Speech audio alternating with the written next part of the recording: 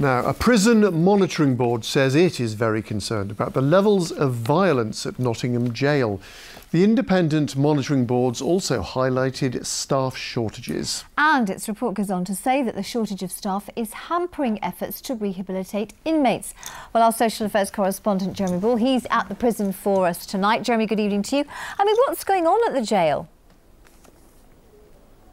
Well, and there are really very serious worries about what's happening behind these prison walls. This jail can hold more than a thousand inmates. Most of them come from Nottinghamshire and Derbyshire. But the report says that violence here is still a very significant problem. And just look at these figures. In the year to the end of February, there were almost 200 assaults on staff. There were more than 450 incidents where inmates assaulted other prisoners.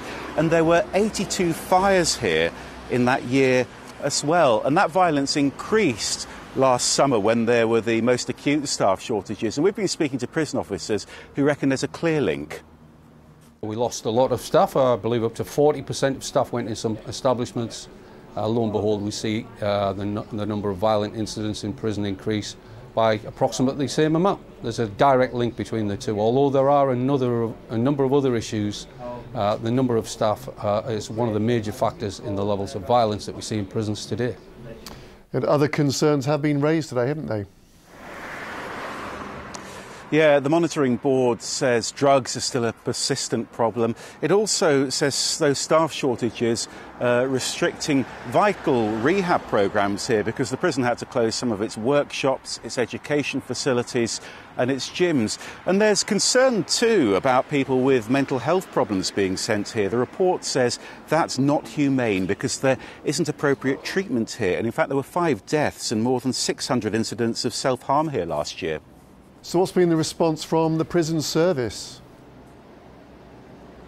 Well, they accept that mental health provision here isn't up to scratch, and they say officials are now talking to the health service to put that right.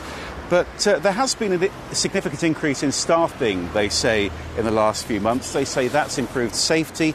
They say workshops are being reopened. And they also say they've just opened a national training centre here for new recruits, which is going to increase prison staffing numbers at jails right across England and Wales. OK, Jeremy Ball, thank you.